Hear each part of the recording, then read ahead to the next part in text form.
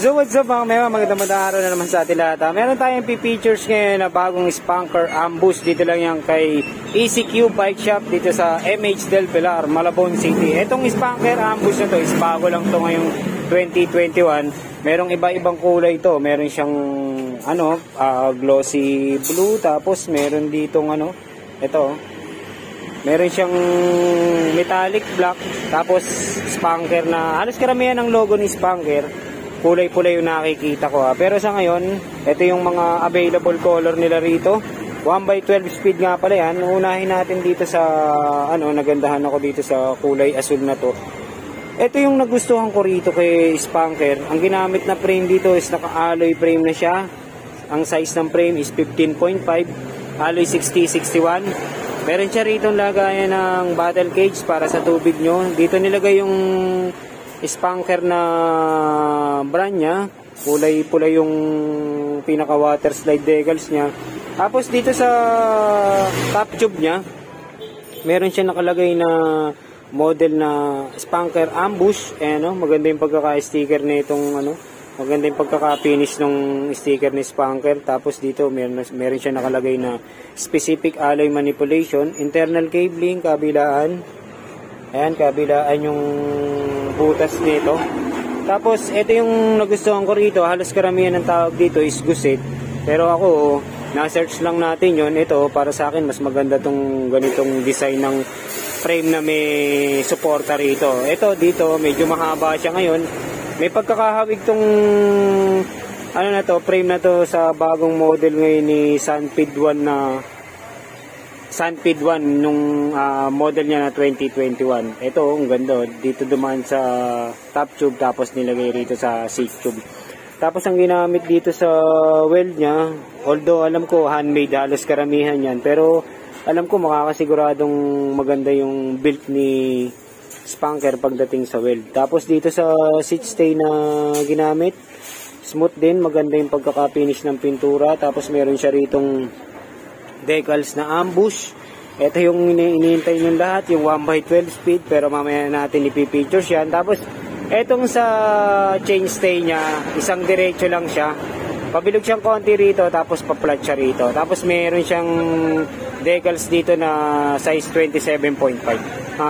Ito yung inaabangan ng lahat. Sa drivetrain nito is naka 1x12 speed. Ang ginamit dito sa cogs cassette type, Sunshine brand, naka 11 yung pinakamaliit tapos 50 tick yung pinakamalaki. Ang ginamit sa chain niya, naka YBN chain to. Pero para sa akin, kung gusto niyo palitan, pwede, pwede kayo mag Shimano chain para mas lalong tumibay. Ang ginamit dito sa RD nito, naka Sensa, ayan, Sensa RD. Ito yata yung bagong model ni Sensa ngayon, eh, no?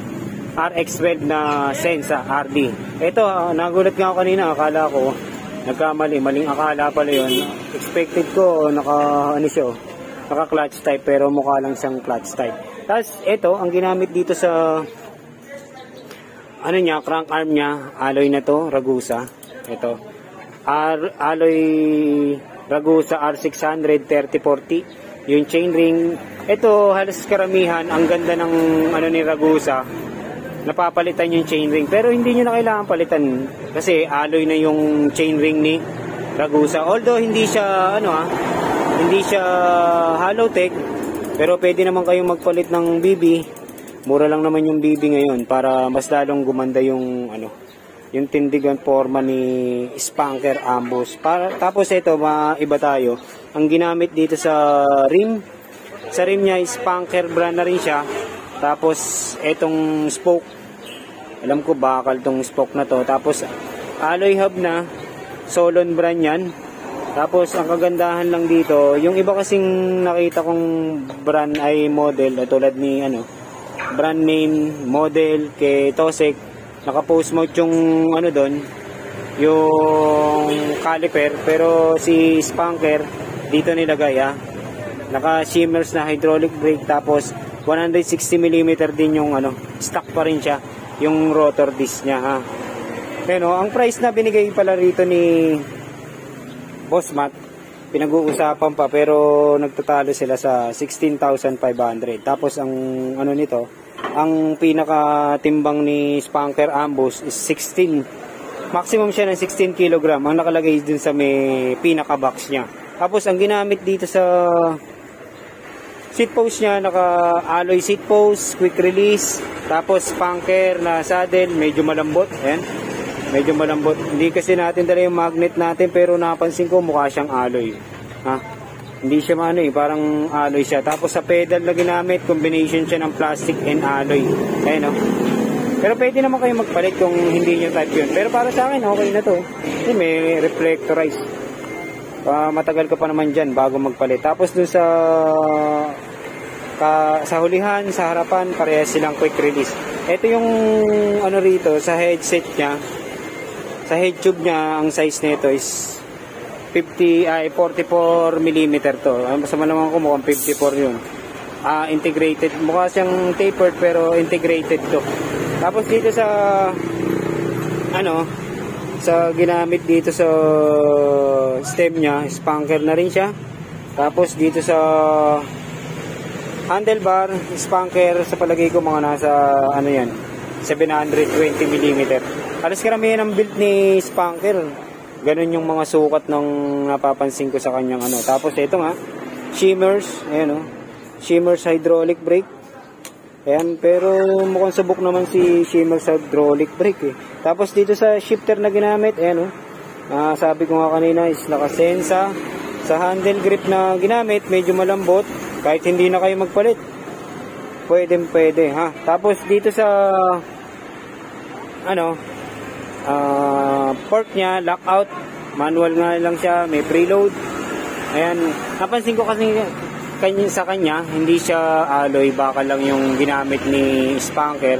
Pero matagal pa naman kayo dyan bago mag-upgrade. Ito nga pala yung ginamit na gulong, oh. Ang kagandahan lang talaga rito, ang ginamit na gulong sa kanya is naka-skin wall na compass. Ang size na yan, yan bago natin makalimutan, 27.5 by 2.20, 2.10. Pwede pa kayong maglaki dyan. Ang timbang nga pala nito is 16 kg maximum ha. Ito pa yung ibang kulay nyo. Ayun yung ibang kulay. Metallic. Ang ganda ng tindig oh. Ah, tingnan natin sa malayo. Ano yun? Diba? Oh.